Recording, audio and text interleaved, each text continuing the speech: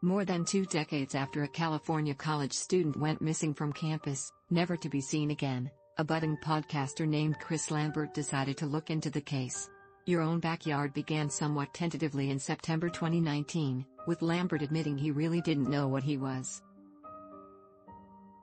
Now two men are about to go on trial in connection with the disappearance of 19-year-old Kristin Smart, and police give much of the credit to Your Own Backyard.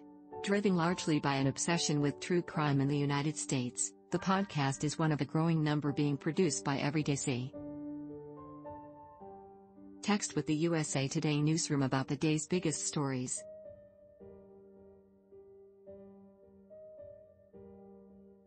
Sign up for our subscriber only texting experience.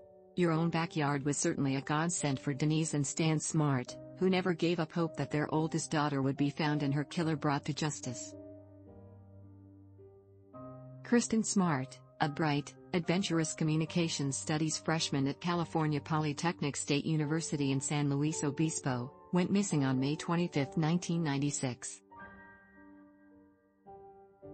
The last person to see her alive, fellow freshman Paul Flores, was arrested in April 2021 and has been charged with her murder.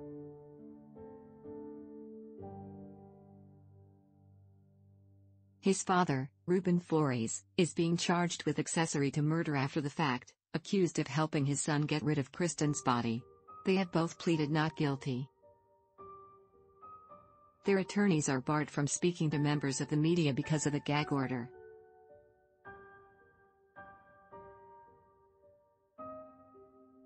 Lambert did not fathom that his podcast would help lead to arrests in the case.